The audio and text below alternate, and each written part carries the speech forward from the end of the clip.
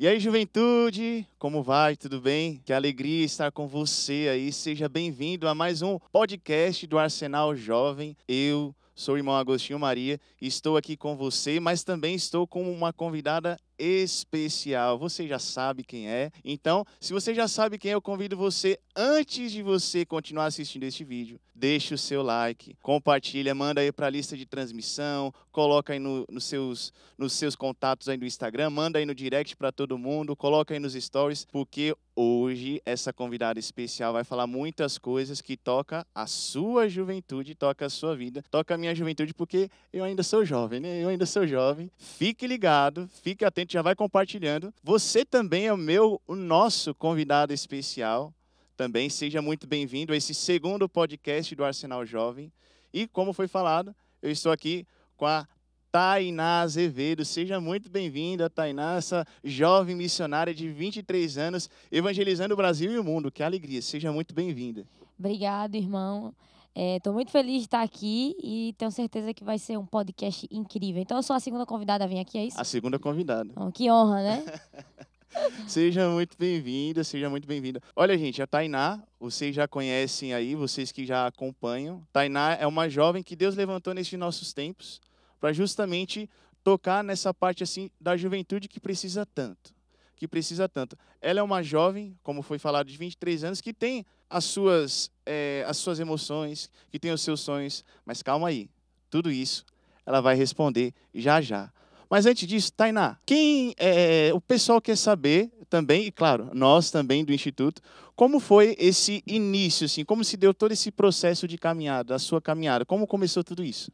Então, né, eu costumo dizer que eu não tive uma, uma vida fora da igreja, eu já nasci em berço católico, eu nasci numa família é, a, além do, do normal, né? Não só católica, mas uma família consagrada a uma comunidade, é, a uma nova comunidade. Então, é, eu já nasci inserida nesse contexto. É o meu tio, que é fundador da comunidade que eu sou consagrada hoje, é Cairóis. Ele é irmão da minha mãe, minha mãe está aqui, inclusive. É, então, os meus pais faziam parte dessa comunidade e meu tio tá ali fundou essa comunidade e acaba que eu nasci nesse contexto. Eu falo que eu não tive muita escolha. então já fiquei por ali. Claro que teve um momento que eu tive um encontro pessoal com Deus, é, com 11 anos, mas facilitou eu ter nascido dentro dessa família já é berço católico, berço carismático, berço ali de uma vida consagrada. Já nasceu no berço do fogo, né? Já é nasceu. Isso. O choro dela era oração em línguas, oração né? em línguas. Não, não nasci chorando, nasci orando em línguas. que bom. E você é a única filha? Tem mais irmãos? Não, eu sou a do meio de três, né? Tem uma irmã mais velha e um irmão mais novo. Uma de 24 e outro de, de 12. 24 e outro de, de 12. Qual que é o nome da sua irmã mais velha? Minha irmã é Thaisa e meu irmão é Luiz. Luiz. Olha só, viu? Thaisa, Thaisa, Tainá e Luiz, né? não quis, não quis colocar outro nome. Não, a gente queria colocar, né? A gente queria colocar Tel, pra ficar Thaís, Tainá e Tel. Mas aí meu pai falou que ia ser o nome dele, né? Aí, aí, aí não tem como, né? Era o Luiz, é Luiz o nome do meu pai, aí ficou Luiz Filho também. Que bom. E Tainá, com 11 anos, você já teve seu encontro pessoal com Deus? Geralmente, geralmente os jovens fazem um retiro de jovens com 15, com 18, com 21, às vezes com 23, e já com 11 anos você já teve experiência profunda com Deus. Como que isso aconteceu? É, então, como eu nasci dentro ali da comunidade, sempre tinha eventos ali, retiros.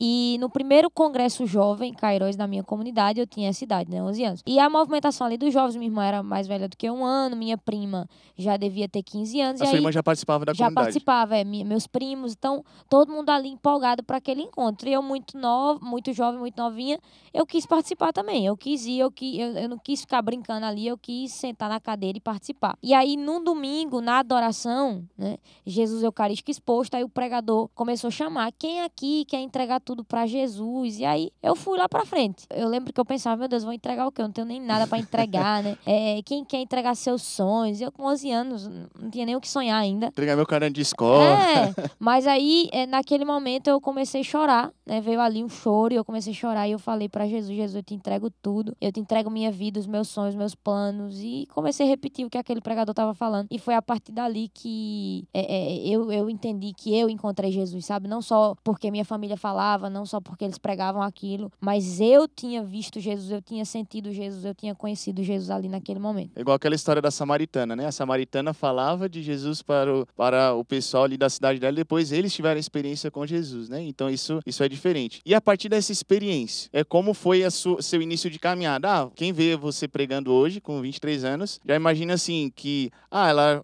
já nasceu em berço católico, já nasceu pregando, mas assim, até a, depois disso, assim, como surgiu essa parte assim da missão da pregação? Como começou tudo isso? É, então, aí eu tendo esse encontro com Deus com 11 anos ali na comunidade, né? Por isso que eu falo aqui para os pais que estão tá assistindo, é, muitas vezes você fala assim: "Ah, mas eu falo de Deus para os meus filhos". Além de falar de Deus para os seus filhos, você também tem que é, é, colocar seus filhos dentro de oportunidades que façam eles ter o próprio encontro, porque senão o seu filho vai ficar vendo você falar, vendo você falar, mas nunca vai ter o encontro dele, né? Então, é, meus pais, minha família sempre é, nos levou a ter, é, nos levou a oportunidades que fizesse a gente ter esse encontro. Então, a partir daquele encontro ali, é, é, eu senti um incômodo no coração e aquilo foi ali me incomodando, me incomodando. Eu voltei porque minha comunidade fica numa cidade, minha paróquia, minha, minha casa em outra, né? Eu sou comunidade de aliança. E aí é, eu voltei para minha casa e eu só ficava vendo ali minha paróquia para missa ali na quinta-feira é, e não via jovem na, na igreja, né? Ia na missa no domingo, não via jovem na igreja e aquilo me incomodando, né? Eu sou devota de São Francisco de Assis e eu ficava querendo ser São Francisco de Assis. Eu ficava dizendo, Deus está mandando eu reconstruir a igreja, né? e ali eu vendo a história de São Francisco de Assis e eu ficava, meu Deus, eu preciso reconstruir minha paróquia. Eu tomava aquilo para mim. E aí, dois anos depois disso, né? Eu entrando pro, pro ensino médio já, de 13 para 14 anos, é, eu, o, o, desejo de pregar, cada encontro que eu ia na comunidade, eu ficava, meu Deus. Só que eu tinha vergonha de falar isso para eles lá na comunidade, né, que eu queria uhum. pregar. Eu era muito jovem e tudo mais. É, eu até brinco nas minhas pregações, se eu sou magrinha, pequenininha, assim, com 23, imagina com 13, né? Gente, de fato é mesmo. É, é pessoalmente. Tá, a câmera engana. Um pode até parecer que não, mas é verdade.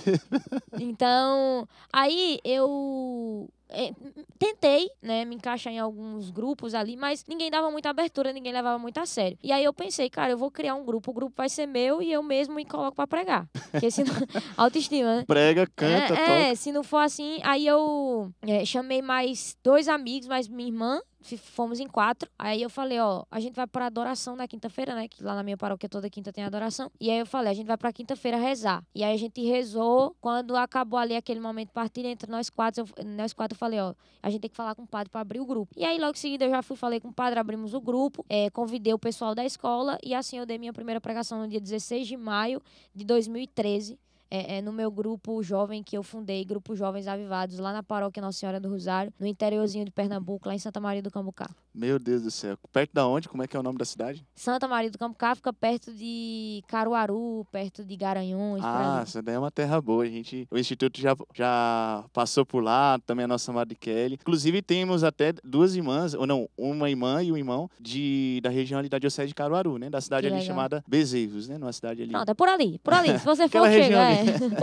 Mas que bom. E Tainá, uma coisa que você falou muito interessante. É, você viu que não tinha jovens, e que Deus estava pedindo para reconstruir a igreja. É, o que você acha da juventude de fato, assim, essa reconstrução da igreja e, e sim, como é a situação da, como era a situação da juventude naquele tempo? Como você sim. descreve a sua a juventude da sua época? Então, é, ali no contexto da minha paróquia, não tinha nenhum, nenhum grupo de jovem ativado. Os jovens estavam só festa, festa, festa. Pelo menos os jovens da minha escola ali, eu, eu moro numa cidade pequena. Então, os jovens só festa, festa. E aquilo incomodava meu coração. E, agora eu estava na JMJ na Europa, né? E eu pude participar da missa ali todos os dias. E mesmo em, em época de jornada, eu percebi que nas igrejas, é, eu já fui para a Europa em outros momentos, sem ser na jornada, e na igreja não tem jovem na Europa. Né? E hoje no Brasil a gente é privilegiado que tem muito jovem. Mas ali na época, nessa época, a, a minha paróquia estava bem vazia de jovem. E o Senhor me incomodava isso. Você precisa trazer os jovens para cá. Então, para quem está nos assistindo, é, Deus tem que colocar essa santa inquietação dentro do teu coração, jovem. Eu rezo muito, né, pela juventude da Europa para que o Senhor desperte, porque a gente vê ali é, é, é, os velhinhos de cabelo branco é, é, dentro da igreja. Eu fico pensando, quando eles morrerem, quem vai, quem vai, vai ficar lá? Sabe? Quem vai ficar lá? Porque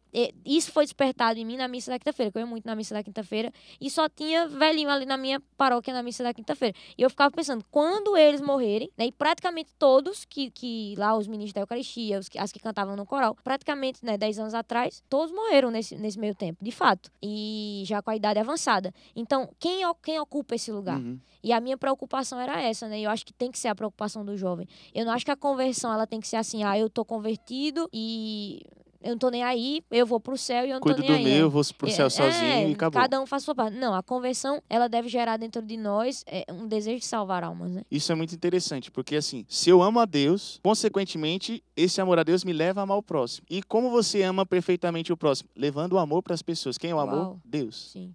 Então, se eu amo a Deus, eu quero que também aquele coração da outra pessoa seja de Deus. É, isso também é essa defesa, né? ter o zelo pela glória de Deus também e também defender o, o, direito de Deus também, porque Deus também tem o direito. A gente estamos numa sociedade que Sim. todos têm o seu direito, Deus também tem o seu direito. E o direito de Deus é as, o coração, né? O coração de cada um de nós, e principalmente da juventude, que é esse esse futuro. Né? E Deus com certeza tem está né, levantando, só que o jovem tem que fazer alguma coisa. Né? E o que, que é, naquele tempo você fez para que isso assim, para que mais jovens viessem para o grupo de oração, para que mais jovens viessem para a igreja, para que os jovens estivessem na Santa Missa também. Qual foi a principal coisa que você fez? É, então, é, amar alguém é desejar o céu para aquele alguém, né? Então, se você ama verdadeiramente alguém, você vai desejar que aquela pessoa seja salva. E, e foi isso que eu fiz, né? Eu amava tanto os jovens, amo, né? Tanto é que na bio do meu Instagram, se você for lá, tem apaixonada por jovens. Que eu era, eu sou e eu acho que vou ficar com 80 anos apaixonada por jovens, pela alma do jovem. E eu comecei na escola, entendeu? Eu estudava primeiro ano ensino médio e ali eu comecei convidando todo mundo da escola. E as, os primeiros a convidar eram, eram os meus amigos próximos. Então, todos os meus amigos próximos foram se envolvendo com um grupo de oração. E jovem, gente, vocês têm que entender uma coisa. Essa palavra influencer, ela tá, tá em alta, né? Todo mundo quer ser influencer. É, influenciar Só que coisa. essa palavra influência, ela sempre esteve presente na juventude em qualquer contexto histórico. Por quê? Porque o jovem, ele é altamente influenciado. O jovem gosta de ter referência. Então, eu fui ali, é, é, a gente foi, foi, foi fazendo uma rede que não tinha fim. Então eu influenciei meus amigos mais próximos, meus amigos mais próximos influenciou os amigos mais próximos deles e assim foi. De repente o nosso grupo de oração com três meses de existência tinha 60 jovens Olha ali por causa do um a um, porque a gente vivia aquela coisa muito forte ali no grupo de oração à noite. Chegava no outro dia todo mundo comentava na escola: "Ah, eu fui lá no grupo de oração, eu repousei, eu chorei, é, é, tem algo diferente lá, tem uma proposta diferente". Então foi assim que a gente é, encheu a igreja, foi assim que a gente fez a diferença dentro da minha paróquia onde a minha paróquia hoje colhe os frutos até os dias de hoje. Eu colho os frutos até os dias de hoje porque eu estou aqui. Uhum. E eu lembro que é, é, é, eu, eu acho interessante falar porque o jovem é conhecido como jovem de, palha, fogo de palha. Começa alguma coisa e é, não termina. Não termina. E eu lembro que eu ouvi muito isso no começo lá. É, dos coordenadores. Teve preconceito, então, quanto teve, a isso? Teve, teve. O meu grupo chegou a ser acabado. Né, por causa Sério? que éramos só jovens, isso. Então, o meu grupo chegou a ser acabado foi porque eu, eu, eu era muito insistente. Eu nem sei de onde eu teria essa assistência. era o Espírito Santo. E o meu grupo chegou a ser acabado porque o jovem tem essa fama do fogo de palha. Eu lembro que um dos coordenadores na época lá, ele, ele chegou a falar: Ah, Tainá, isso aqui é fogo de palha, isso aqui vai acabar. E eu disse para ele: se for fogo de palha, que se acabe, mas se for o fogo do Espírito Santo, que eu ainda, eu ainda disse na época, né? É, que eu ainda prego o Brasil inteiro falando sobre essa experiência que eu tive com Deus. E aqui estou eu dez anos depois para mostrar que não era fogo de palha. Quando hum. se um jovem, quando o jovem tem um encontro de fato com o Espírito Santo e ele leva aquilo a sério, é possível, entendeu? É possível. E quantas pessoas é, é, na minha paróquia naquela época eu influenciei? E o meu interesse, irmão, não era pregar o Brasil inteiro. Eu nem sabia que existia essa possibilidade. O meu interesse era avivar a minha paróquia, era avivar os meus amigos da escola. Era só isso. Então, é como Francisco, São Francisco de Assis fala, né? Fazer o que é necessário. Uhum. Então, a gente, que você, jovem que está aí, o que é que você pode fazer hoje? Que às vezes é tão pequeno, mas o que você pode fazer pela sua paróquia, pelo seu grupo de oração, pelo seu grupo de jovem, para que ele não morra, né? É aquele é fazer o pouco para que o oceano seja de mais cheio, né? Porque sem aquele pouco que eu vou fazer, aquela é uma gotinha no oceano, né? O oceano ele vai ficar, vai ficar menor. E assim, começou aquele movimento na sua paróquia, começou os jovens virem para a igreja e outras pessoas ficaram sabendo disso. Ou ficou só só ali, só os jovens ficaram sabendo, teve mais outras pessoas que ficaram sabendo, e aí foi essa centelha que se acendeu e começou a incendiar o Brasil inteiro. Sim. É, é interessante, né? Porque o irmão tá perguntando coisas aqui que eu nunca respondi em outro lugar, então vai ser legal. é o Espírito é, Santo. É. então, assim, é, de fato, é, a gente começou. Tra... Foi, era muito forte, gente. É, e aí, além do grupo de oração semanalmente, a gente começou a fazer outras coisas. Textos na, nas ruas. por exemplo, alguém tá fazendo aniversários. Convida o nosso grupo de jovens para comemorar seu aniversário. Então a gente levava instrumento e tocava tocava ali na rua. E aí o padre começou a contar com a gente para várias atividades dentro da paróquia, né? E aí também a gente fazia vigílias. Pensou buffet do fogo, né? É. Fazemos aniversário. Chame-nos do para a sua é. festa. É, E eu, eu brincava, né? Eu gosto de rezar o texto na casa das velhinhas, que sempre tem comida no final, né? Sim. A Né? parte rezar social. da fome, né? A parte social. É. E aí, é, depois de um ano nesse apostolado lá na minha paróquia, o meu fundador lá da comunidade, Cairóis, meu tio, ficou sabendo que eu tava pregando depois de um ano. E aí ele, per ele perguntou, Tainá, você tá pregando por aí? Eu falei, não, né, só tá, tá acontecendo as coisas aqui e tal. A gente tava num grupo de jovem. Aí ele disse assim, ó, vai ter um encontro próximo mês aqui na comunidade, eu quero que você pregue. E aí eu coloquei pra dar dor de barriga, ficar nervosa, né? Todo mundo sabe, todo mundo já passou por Deu isso. né? branco, né? Não, não Até hoje pregar. eu fico nervosa. Aí o povo fala, Tainá, você fica nervosa? Fico. E aí era um encontro grande, né? Eu tava acostumada a socar ali com a minha cidade, com a minha paróquia. E eu falei, tudo bem, eu vou. E quando eu preguei, acabou a pregação, veio uma mulher assim e ela falou: Olha, quem é que cuida da sua agenda? Porque eu quero que você vá pregar no meu grupo de oração. E aí eu olhei pra ela e falei: Agenda de escola? Não tem agenda. Aí Eu chamei meu tio, minha mãe assim, eu falei, ó, a mulher tá me convidando pra pregar no grupo de oração. Eu preguei naquele grupo de oração e até hoje eu nunca mais parei. Amém. Há quanto tempo faz que tá pregando? 10 anos, agora fez 10 anos, dia 16 de E maio. rodou o Brasil inteiro e, Brasil e o- e- inteiro. e alguns países do mundo. E alguns países do mundo. Pra fora do, do Brasil, pra qual país você foi? É, eu já fui pra. Fiz missão na África, né? Em algum, dois países da África. Mas só que falam português ou não? Tem outro idioma? Fala Fala português. é. português. É, eles têm o dialeto deles, né? Mas esses dois países, é, inclusive Guiné-Bissau, que é o, o país onde a gente tem uma casa de missão lá, eles falam português também. É, já fui. Eu vou muito para os Estados Unidos em missão, né? Uhum. Eu vou. É um dos países que eu mais vou em missão. Prega pro, pros brasileiros de lá. Para os brasileiros do, do, do país. Tem muito Não brasileiro lá. aprendeu inglês ainda, não? Eu arranho. a sua, a sua camisa tem É, alguma coisa? inglês, é. Pray, pray. Orar e orar. Eu arranho no inglês, né? Às vezes eu fico. The books on the table, Jesus É, the Às Lord. vezes eu fico tirando onda, né? No speak em português. Mas também já fui pra Europa, pra alguns países da Europa. E assim, tô indo. E assim vai. E nesse... Quantos anos de missão? Dez. 10 anos de missão. Nesses 10 anos, muita coisa aconteceu. Né? Temos aí a questão da pandemia, entre outras coisas. E também, por exemplo, né? você está 10 anos de missão, eu estou há 9 anos no mosteiro. Então, eu percebi isso e não creio que não é só minha impressão. Né? E por isso que queria que você comentasse sobre, né? Quando eu fazia parte um- do grupo de oração, antes de entrar, quando eu iniciei minha caminhada em 2009, lá em, faz o quê? 13, 14, 15 anos aí, vai fazer 15 anos, era uma juventude. Quando eu, depois que eu entrei, eu percebi que a gente faz algumas missões, principalmente também com a juventude, e a gente percebeu que era uma outra, também já a juventude estava mudando. E veio a pandemia que mexeu com todo mundo, né? E hoje a gente percebe uma juventude diferente de 10 anos atrás. Como você vê hoje a juventude e o que, que ela precisa, né, principalmente? Eu acho que há 10 anos atrás, a gente até conversava ali, né, com a irmã Maria Raquel e o senhor. Antigamente, eu percebi há 10 anos atrás, quando eu vi o pessoal deixando tudo, era, era muito. eh, Tinha mais um, uma paixão, sabe? Me- menos mimimi e mais ação. Mais ação. Tipo assim, ah, eu, Deus está me chamando, eu vou responder com prontidão, com pressa. Eu vou e, e ninguém me impedirá, né? Estou indo, estou de malas prontas, vou largar tudo. Hoje não. Hoje eh, o jovem fica com esse mimimi e ele não quer viver é, aquilo que o Senhor convida, os processos da vida mesmo, do chamado. Eu acho que o problema da juventude de 10 anos atrás para cá, é, de hoje, né? O problema da juventude de hoje é essa falta de prontidão para responder o chamado de Deus. A gente coloca muitas coisas na balança. Né? O que eu vou perder? Será que eu vou perder muita coisa fazendo isso, escolhendo isso? Então, eu acho que há 10 anos atrás não se colocava tanto na balança. Era assim, Deus está me chamando, eu vou, não importa o que eu vou perder. Então, eu sinto falta disso. É, essa, essa questão. E às vezes, assim, quando Deus nos pede algo, parece que Ele está tirando tudo da nossa vida. Parece que Ele está, assim, está sendo um carrasco. Está sendo um. Meu Deus, Deus está sendo um ditador, está me tirando isso, está me tirando aquilo, está me pedindo isso e aquilo. Mas na verdade, Deus quer te dar. Deus quer te dar aquela história, né, que a gente falava, né? Lucas 5. Os, os São Pedro e, e os outros apóstolos ali estavam pescando a noite inteira, a noite inteira, não encontraram nada. Chega Jesus, no amanhecer, ó, joga a rede pro outro lado. E quando jogaram a rede pelo outro lado obedecendo, parecia loucura. Sim. Quantos peixes, né? Então, é justamente isso, né? Justamente isso que você falou. É essa prontidão em responder. É porque, porque assim, tava falando da influência, né? Jovem evangeliza jovem.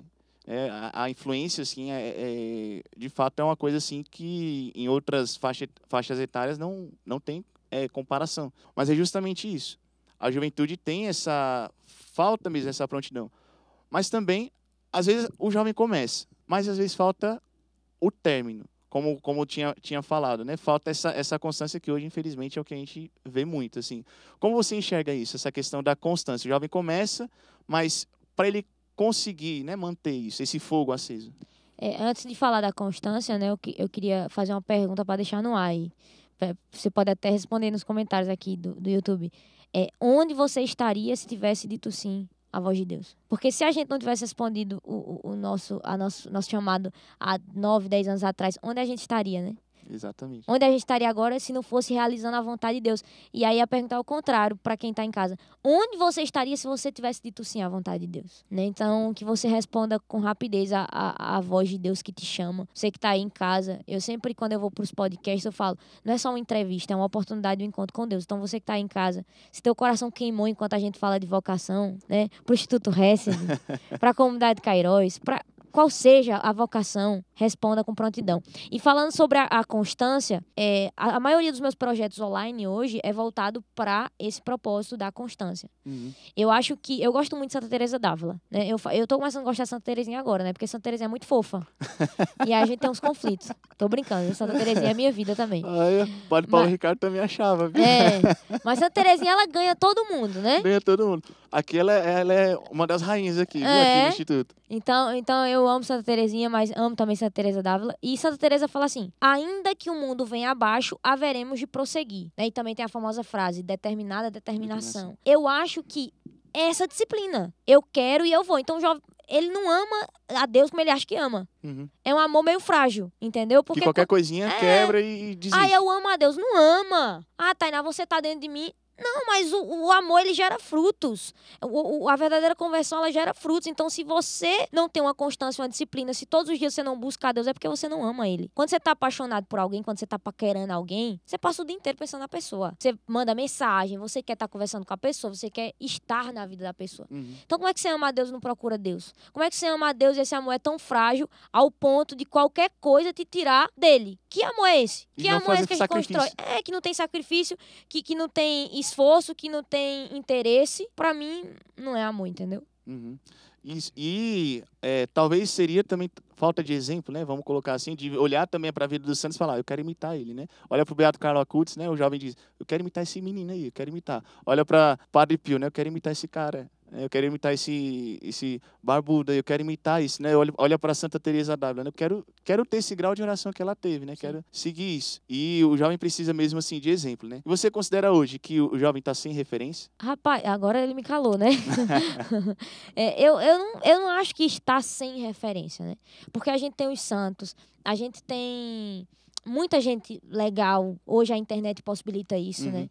De muita gente que tem testemunhado a fé, como vocês aqui do Instituto Hesed mesmo, que para mim é uma inspiração. É, eu falava até isso para a irmã Raquel, Maria Raquel. Mas, claro, quando você fala assim que o jovem não tem muitas referências, eu acredito que precisa se levantar mais gente. Uhum. Né? A minha agenda só tá cheia porque talvez a, de muitos jovens aqui tá vazia, tá né? Vazia. Porque você ainda não se levantou. Então, claro que precisa levantar, mas eu não digo. Eu acho que o católico não tem como dizer que não, ele não tem para que olhar. Tem tem tanta é uma nuvem de testemunhos. É, né, se você olhar para a Virgem Maria, então é, é, talvez porque você não procura olhar. Você viu aqui que enquanto eu falava, eu falo de um santo, falo de outro, porque sempre teve presente na minha vida. Então dizer que não tem para quem olhar, eu, eu não acho que é justo pra gente que é católico e tem se tanto de gente no altar, tanto de santo que a gente pode imitar. Mas se for no contexto atual, talvez sim. Né? Uhum. Talvez a gente precise de mais referências. E, e, quando eu falo de referências, irmão, aí não sei se você vai concordar, não só referências que sejam famosas na internet, mas referências dentro das, das salas de aula de faculdade, referências dentro da, das famílias, referências dentro das paróquias, ao, vidas dignas da gente imitar. Que a gente, uhum. que na sua paróquia você seja alguém digno de que as pessoas te imitem. Que na tua faculdade, no teu dia a dia, você seja referência para outras pessoas. Não busque só referências, mas que, seja, que né? tal, né? Ser a referência. Lembra agora daquela uh, carta de São Paulo a Timóteo, né? Que ele diz assim, né? Nada te impeça, nada te menos, não te menospreze por seres jovem, né? Porque Deus colocou, e aí depois ele diz assim, né? Tem uma parte. Não menospreze o dom que Deus colocou em ti, né? E Timóteo era, era, era jovem, né? Então jovem não tem que se subestimar, né? E também não tem que ter vergonha de dar um testemunho. Dar esse testemunho de ser referência, de ser modelo também. Mas é necessário que o jovem comece uma caminhada, persevere e continue dando este exemplo, né? Em vários âmbitos da sociedade e da, da vida dele. Por exemplo, você que está acompanhando aí, está nos acompanhando em casa, né? A, a Tainá é uma jovem de 23 anos que tudo aquilo que é da juventude tem presente na vida dela. Inclusive, ela terminou recentemente faculdade, né? Sim, Não é isso mesmo? Sim. Faculdade de quê? Arquitetura e urbanismo. Arquitetura e urbanismo. E, assim, um jovem que busca a santidade na escola e na faculdade, é muito difícil dar esse testemunho, porque tem muita retaliação, muito mimimi, as pessoas ficam falando assim, ah, mas ah, é que isso daí é retrógrado, vai, logo, logo você vai desistir disso, né? Como foi sua experiência dentro da faculdade? Então, dentro da minha, dentro da minha faculdade, é, foi bem pesado. Porque como eu nunca fui do mundo, nunca tive vida fora da igreja, quando eu cheguei na faculdade, eu me deparei com um cenário que era desconhecido até então para mim. Mas foi muito importante esse período meu na faculdade para mim saber lidar ainda mais com jovem, né? Como eu evangeliz, já evangelizava com jovem ali quando eu entrei na faculdade, então foi a matéria-prima ali para muitas situações eu saber responder na missão. Mas foi bem difícil, né? Eu lembro de um episódio na, na faculdade que eu saí da, da, da, sala de aula, né? Fui até embaixo na, na cantina. E quando eu voltei, minha mochila tava toda pichada, né? É mesmo? Tá tudo pichado. Com alguns nomes que eu nem vou falar aqui. O pessoal sabia que você era católica? Sabia que eu era católica, sabia que eu era pregadora e tudo e tal. Sério? Então, tava, tava pichada com alguns nomes ali, né? Alguma afronta à minha fé. E a única coisa que eu fiz foi, aquele momento ali, agradecer a Deus pela oportunidade de testemunhar a, a, a minha fé e, e, em silêncio eu recolhi minha mochila, fui embora. Mas é, isso é um, é, um, é um corte de tantas coisas que aconteceram na faculdade, mas eu posso dizer foi um campo que eu nunca duvidei da minha fé, que eu nunca tive dúvida, mas ao contrário, sempre testemunhei, não com agressão, não com ódio, nem com nada do tipo, mas com amor de Cristo. E, e pude, graças a Deus, evangelizar muitas pessoas, tirar muitas pessoas da droga, é, de uma vida errada, escutando uhum. muitas vezes ali uma partilha, na simplicidade, eu não tentava enfiar a goela abaixo do evangelho de ninguém, mas, como fala o evangelho, né, oportunamente e importunamente, eu tentava ali no cotidiano das aulas, é, passar um pouquinho de Jesus para as pessoas. E teve pessoas ali que você conseguiu trazer mesmo, levou para o grupo de oração? Teve, teve. A gente tem um grupo de oração na faculdade, né? Eu e um amigo meu, a gente sempre ia para o grupo de oração e a gente acabava trazendo muita gente, inclusive a convite nosso, muitas uhum. pessoas uhum. iam para os retiros nas nossas comunidades, nas paróquias ali por perto. Então, sim, a gente consegui, eu consegui realizar um apostolado dentro da faculdade. Olha aí, que bacana, né? Gente, você que está, você que é universitário, procure aí na sua faculdade se tem algum grupo de oração, porque isso é muito importante. Por exemplo, tem um testemunho de um irmão nosso aqui, que ele teve a experiência com Deus, ele é religioso hoje, ele teve experiência com Deus num grupo de oração de uma faculdade federal. Né? Uau. Né? Então, assim, é saber que assim, o pouquinho que a gente faz, a gente não sabe o, o alcance que tem isso.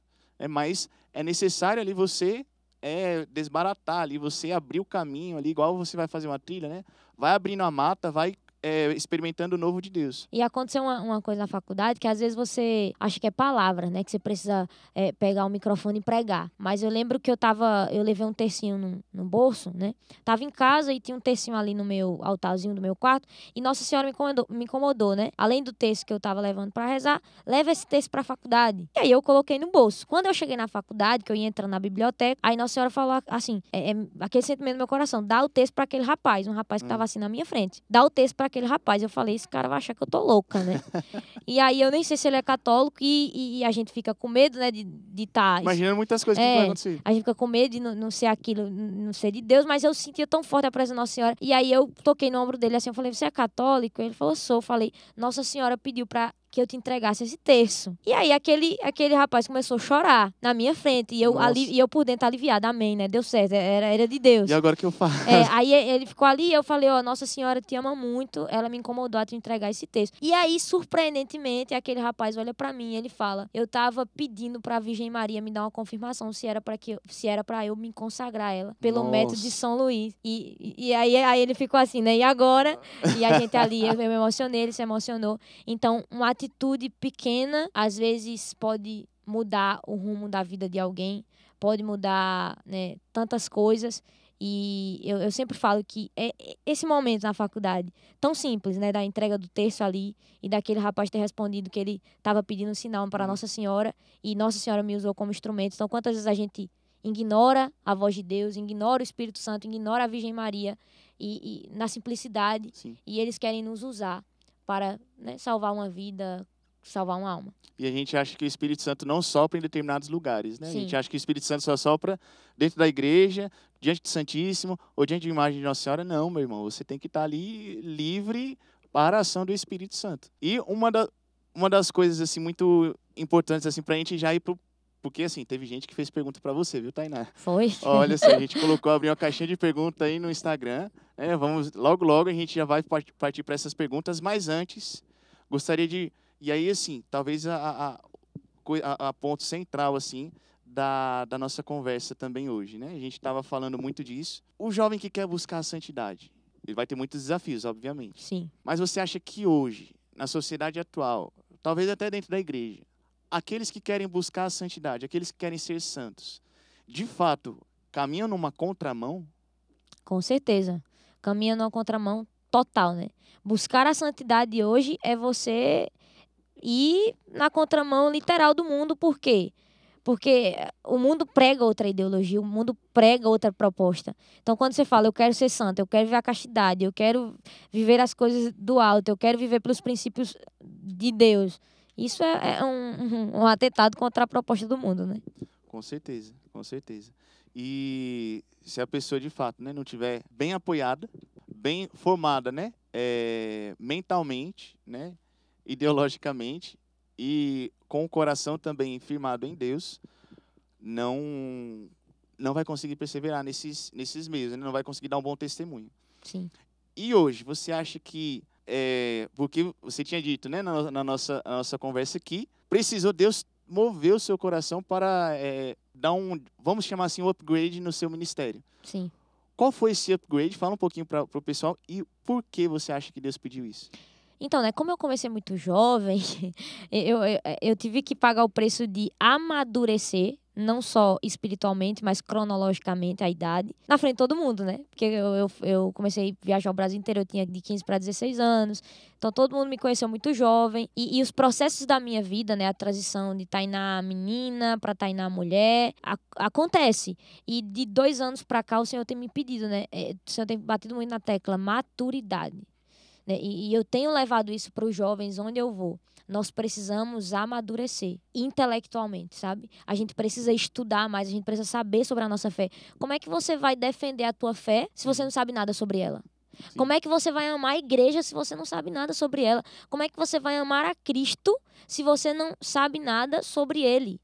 Então, muitas vezes a gente padece porque a nossa casa é construída na areia. Né? A nossa casa é construída em cima de sentimento, de sentimentalismo. Né? Ah, eu tô sentindo Deus. Tá bom, você tá sentindo Deus, mas, mas a sua fé, ela tá enraizada em que e aonde? Né? É, Eu, eu, nessa agora, na Jornada Mundial da Juventude, eu fiquei dividir alojamento com francesas. E elas falavam em francês, obviamente, e eu em português. E a gente tentava se comunicar ali pelo O tradutor. Google Tradutor ajudou, É, né? e o Senhor colocava no meu coração e eu partilhava com os meus irmãos de comunidade. Eu falava, gente, a gente quer a França. Vamos começar a estudar francês. Então é muito fácil o jovem falar, ah, eu quero evangelizar as nações. Você vai evangelizar as nações, você nem estuda uma língua, nem, nem estuda inglês. Então a gente normaliza muitas vezes essa preguiça. Ah, Deus gosta de tudo de qualquer jeito. Não, Deus não gosta de tudo de qualquer jeito, não. Deus quer que a gente dê o melhor. Claro, às vezes o nosso melhor é como aquela viúva que só tinha uma moeda, mas era o melhor daquela viúva. Então, muitas vezes você dá o seu qualquer, a qualquer coisa, mas é- isso não é o seu melhor, né? Pode ser o melhor do outro, mas o seu melhor pode ser algo realmente e melhor. até porque, assim, quando a gente vai comprar alguma coisa, por exemplo, né, quem tem possibilidade de comprar um celular, né, uma roupa, vai querer a melhor. Não vai, não vai pegar ali, no, vai lá no brechó 10 reais, né? Sim. Comprar a camiseta, pronto, serviu pra mim, vou usar até, até o elástico ficar todo mole. E fora quando não passa de geração em geração, né? O irmão passa pro irmão mais novo e assim vai. Se, você, se a gente quer o melhor, imagine a Deus. né? E assim, é isso, é o nosso melhor, né? Não é o melhor no conceito mundano, é o nosso melhor, né? E, como diz São João da Cruz, né? Onde não tem amor, plante amor e colherá amor. E ele diz também, né? No final da vida seremos julgados pelo amor. Ou seja, é, quanto de amor eu coloquei naquilo. Sim. Santa Terezinha, né? Que apanhava um alfinete ali pelas almas, assim, com aquele amor, assim, tudo. Tá vendo? Santa Terezinha, gente, é fofa Santa demais, Terezinha né? tá te perseguindo. É. É, e, é, e é isso, assim, fazer, é fazer alguma coisa, né? E ir Sim. atrás daquilo, né? Ir Então, daquilo. esse é upgrade é, é, é nesse sentido, né? Que eu percebia que até eu mesma, assim, ah, eu, eu ia pro, pros encontros de jovens e vamos, jovem, vamos colocar fogo no mundo. Só que pra gente colocar fogo no mundo, a gente precisa ter combustível. E ao longo do tempo, quando você vai amadurecendo, você vai percebendo isso, né? Uhum. A animação, a empolgação, ela daqui a pouco, ela tem que ser mantida, ela tem que ser nutrida, né? Vamos- Essa palavra ideal. Nutrida. Porque você tá no encontro de jovem ali, pá, pá, pá, pá, aleluia, aleluia, glória a Deus. Uh, Deus é lindo, mas a segunda-feira chega, a terça-feira chega, o cotidiano chega. O que é que você vai fazer pra Uhum. nutrir, pra alimentar? Tem que estudar, você tem que rezar, você tem que ter vida interior, porque senão você vai ficar no meio do caminho. É, isso não é profecia, isso é realidade. Se você não tem vida interior, se você é um consagrado de, eh, religioso, se você é um pregador, se você é um padre, o que for, se você não tem vida interior, o teu destino vai ser a desistência da tua vocação ou uma vocação mal vivida. Sim. E assim, às vezes quando vai pregar não toca, né? Não toca as pessoas, Sim. não tem aquela unção, né? Porque Jesus, né? Os discípulos de Emaús caminhavam com Jesus e Jesus explicava, explicava, explicava. E depois, quando eles têm o partir do pão e Jesus desaparece, eles vêm assim, não se abrasava o nosso coração quando ele nos explicava as escrituras, aquilo que o Papa Emérito Bento XVI dizia, né? Como é que eu vou falar de Jesus se eu não conheço? Né? Como é que eu vou falar com ele se eu não, se eu, como é que eu vou falar dele se eu não falo com ele? Então, essa é muito importante essa essa intimidade também. E Tainá, você falou aí, Tainá menina, Tainá mulher. Essa mulher, né, de vem. 23 anos, essa jovem mulher de 23 anos tem sonho, como qualquer pessoa. Qual é o seu sonho? Quais são os seus sonhos? Que acredito que seja mais de um. Eu, eu falo que eu não sou uma pessoa muito de sonhos, assim, eu não tenho muito sonho, né? Tem gente que sonha muito, mas eu já vivi tanta coisa com Deus que eu falo. Eu não tenho o direito de sonhar, porque Deus já me fez viver tantas coisas tão jovem. Mas um sonho particular que eu tenho e que eu quero muito realizar é viver o cumprimento da minha vocação de forma plena, que é o matrimônio e a maternidade. Então, eu sonho muito em ter família, né? Então, a família, poder ensinar e educar os meus filhos na fé, poder ter um esposo e junto com ele é, é viver a santidade, o caminho é, até o céu, na vocação a qual o Senhor me, me convida a viver e realizar. E para isso tem a espera, né? Que é o Uhum. lugar onde eu estou agora. para isso tem a espera, que às vezes é desafiador. Tenho certeza que tem muitas pessoas que que tá em casa, muitos jovens que também se identificam, né? E às vezes você, no, no lugar, nesse lugar da espera, né? Muitas vezes você fica ansioso e, e essa ansiedade pode te levar a escolher qualquer coisa. Então você tem que ter muito cuidado, porque é um tempo de espera, não um tempo de apa- apatia, né? Você não precisa ficar esperando sem fazer nada. Espere fazendo alguma Espere coisa. fazendo Espere estudando, espere rezando, espere dando o seu melhor para Deus, espere é, fazendo missões. Porque eu sei que quando eu casar um dia, minha vida vai mudar um pouco, Uhum. né? Minha vida de missão. Mas Vai é se isso. dedicar, né? A vocação tudo. Sim. E- Então esse é meu sonho: é é casar, é ter filho. Amém, que bom. É, e a, ver, né, uma jovem como você que está acompanhando aí, é uma jovem de 23 anos, missionária, conhecida aí no Brasil e além Brasil, e não ter medo de, de viver a sua juventude, de viver aquilo que Deus pediu para você. É ter coragem e seguir adiante. Não parar no caminho, porque é, parar no caminho é a mesma coisa de retroceder, já diziam os espirituais, né, diziam os santos. Não, ir para frente, né? Ir para cima, né? Do que alto. Vai pra cima. Vai para cima. Let's go. Gente, então agora a gente vai entrar agora no nosso quadro Pergunta aí. A gente fez, abriu uma caixinha no Instagram. Vocês mandaram algumas perguntas, a gente selecionou, tá bom? Para pegar, perguntar para Ave Tainá. Maria. Olha só, Então aí hein? tem uma pergunta boa, né? E vai ter sim, Tainá, olha só. Perguntaram aqui, ó. O que fazer quando você cai na tentação, mas quer a santidade? Então, confesse, vá pro padre, vá para a paróquia mais próxima e confesse. Eu acho que é infalível. Caiu em tentação, vá confessar. Por quê? Porque a confissão, ela é o único tribunal do mundo que se você declara é, culpado e sai dali perdoado, inocentado. Então, assim, a confissão, ela é um recomeço, de forma plena, né? Uhum. em comunhão com a igreja. Então, quando você vai ali para a confissão, o seu pecado é anulado. Então, não tem, não existe maneira melhor de confessar do que de recomeçar, de levantar, de sair da, da, da queda, é indo lá confessar, não é isso, né? Quando você cai na tentação, tentação. então vá se confessar, né? Dizia, não lembro qual era o santo, mas que a- a- o ato, o sacramento da confissão, ele é um exorcismo contra o Sim. demônio. Então, prim- dica infalível, vá confessar. Não pense em outra coisa, não, não queira outra coisa. A primeira coisa a fazer é confessar. Se você está precisando de confissão, vai logo amanhã. Já marca aí na Isso. sua paróquia, vai atrás. Acabou a missa, pega o padre ali na sacristia. Pare, me ajuda, pelo amor de Deus, eu preciso confessar. É Tem isso. que ir atrás. Se você quer ser santo, vai atrás da confissão se você precisa, né? Não deixe para amanhã, né? Claro, hoje já está à noite já. É. Talvez o padre não vai te atender hoje. Não vá atrás do padre hoje, pelo amor de Deus. Mas não demore pra, muito tempo para ir, né? Tem, o- acho que São João Bosco que diz, né? Quando uma pessoa dorme em pecado mortal, é a mesma coisa dormir com uma serpente venenosa. Nossa Senhora do Rosário. Logo, logo ela vai dar um, um, bote e a pessoa pode. E ainda sobre esse cair em tentação, né? Para concluir, São João Paulo II diz: Santo é um pecador que nunca para de lutar. Então, caiu na tentação, querido, levanta. Você não foi feito para o chão. Nós somos seres humanos, pecadores, mas a gente não precisa ficar na lama do pecado. Então, caiu em tentação, levanta, recomeça, bata a po- a poeira aí, sacola a poeira, é, toma um açaí e recomeça. Toma açaí uma coca é, eu falo: toma um açaí e vai dar tudo certo. E confiando na misericórdia de Deus. Né? Isso, Porque uma das coisas que o demônio coloca quando, quando as pessoas caem é esse desespero. Essa desconfiança. Ah, mas eu vou confessar de novo o mesmo pecado. Vai. Vai. Ninguém mandou você cair. É, Vai humildade e vai pra cima. atrás. Vai pra cima. Outra pergunta. Quem foi sua inspiração no começo da conversão? Então, é, minha inspiração, além da minha família, né? Meu tio, meu fundador, Jorjão Queiroz, minha mãe, meu pai, minha família ali, uma das inspirações que é até hoje foi o Monsenhor Jonas Abib. Ah, esse daí. É, o ah, Monsenhor Jonas Abib foi um dos primeiros pregadores que eu vi pregar ali na, na internet. Sempre ficava imitando ele no meu grupo de se Jesus oração. ressuscitou, significa. É, então assim, sempre imitei, amava quando ele falava, seja Mister e Miss Pentecostes. E eu dizia, é isso mesmo, aí eu vou ser Miss. Pentecostes, aleluia. Então, é esse amor pela Bíblia, esse amor pelo Espírito Santo, é, essa propagação, né, do batismo no Espírito Santo, sempre foi algo que me encantou em, em, em, Monsenhor Jonas Abib. E eu acho que dá tempo, né? Eu acho que a gente tá corrida aqui, mas Tá. dá tempo eu falar de uma experiência que eu tive com o Monsenhor Jonas Abib agora, na, na Europa. Eu tava lá em Portugal.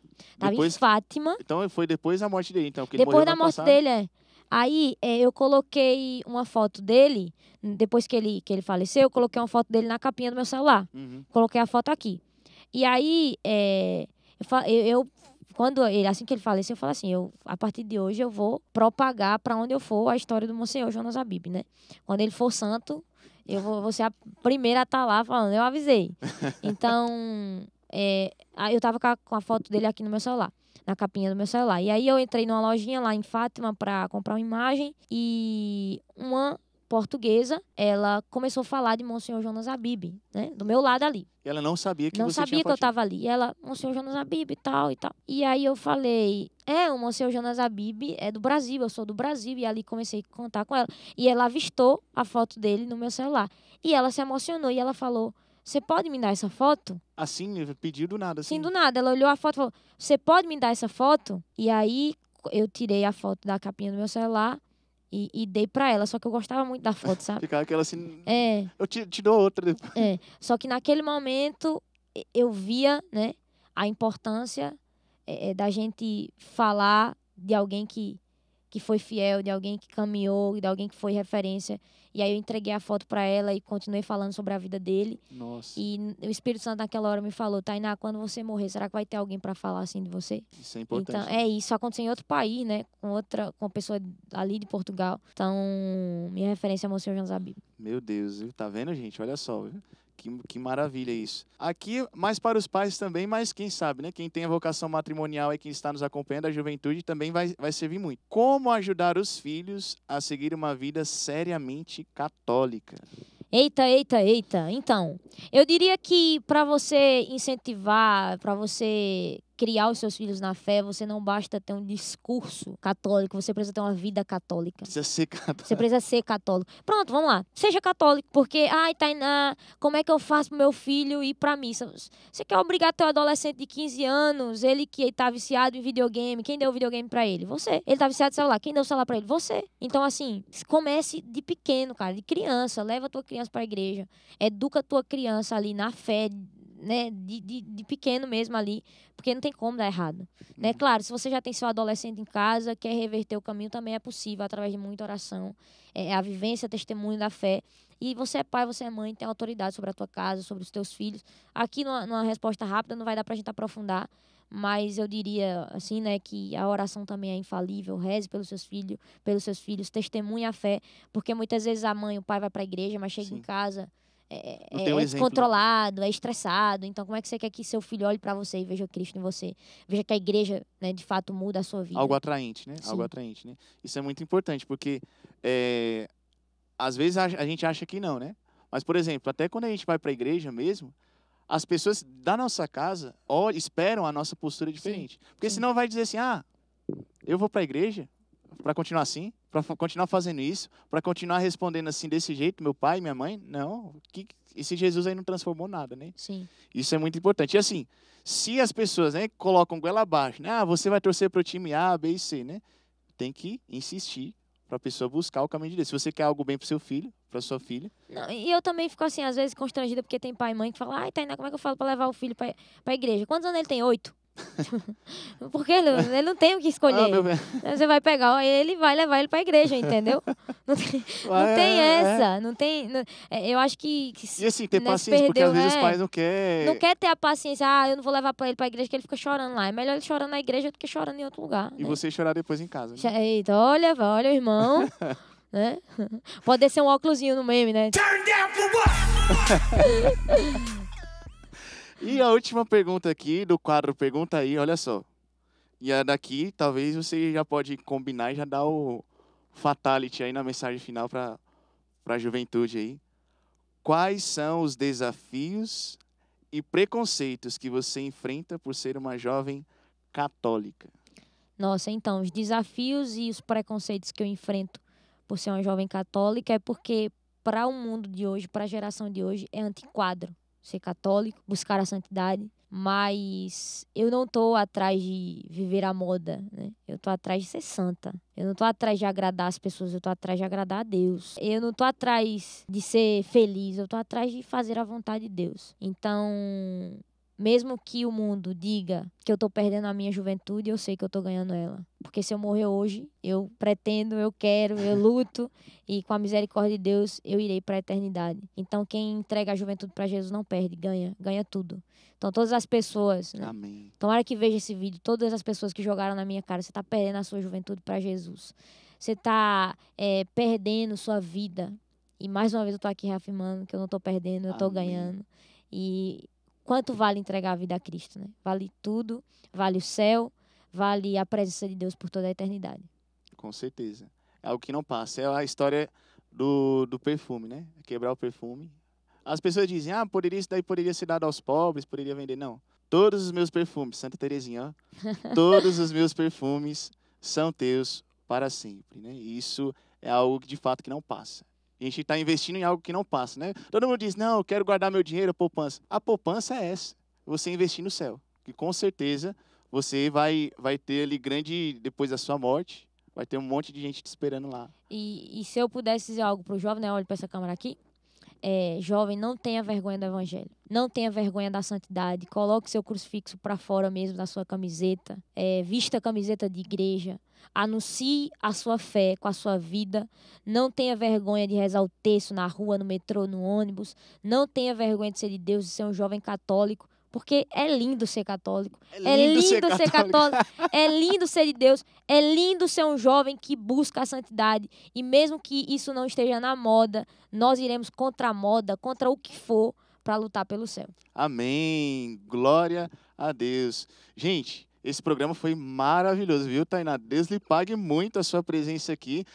Quem quer que ela volte mais vezes, aí coloca aí no chat, volta, hashtag Eu volta quero! Tainá. hashtag volta Tainá, vamos viralizar, né? Agora viralizar tudo aí, vamos viralizar essa Gente, eu hashtag. não posso vir muito aqui, não. Vai que a pessoa começa a ter crise vocacional. Vê, essa, vê essas freiras por tudo que é lugar. Ela, não, gente, é sério. Elas são muito. é, é, é, transpiram santidade. Você fica meio assim, né? Ah, né? Tá logo ali, bem do lado aqui do Ceará, Pernambuco, ó, rapidinho. Gente, Deus lhe pague pela sua presença, Tainá, Deus lhe pague muito, viu? A sua presença é muito bom ver outros jovens que busquem a santidade. Nos ajuda também no nosso, nosso chamado, porque nós recebemos o nosso chamado na juventude e tivemos também o nosso encontro pessoal com Jesus na nossa juventude, né? E, como diz Santa Teresinha também, né? Não devemos ser indecisos diante da possibilidade de ofertar o melhor de nossa vida para Deus. Né? E essa, isso aqui é, é fantástico, é uma alegria ser de Deus, né? alegria ser um jovem de Deus. E essa alegria que a Tainá transpassou, essa, transpassou e transpassa para nós, essa alegria que você tem que ter onde você for, essa alegria de ser de Deus, de buscar a santidade. Então, Deus lhe pague a sua presença, Deus lhe pague por você ter vindo aqui. Compartilha, deixa o seu like, coloca aí nos comentários, né? Hashtag Volta Tainá, nosso podcast Arsenal Jovem, para a gente falar de mais coisas. E não perca, segunda-feira, a nossa live do Arsenal Jovem. Deus abençoe você e quem como Deus? Ninguém. Ninguém.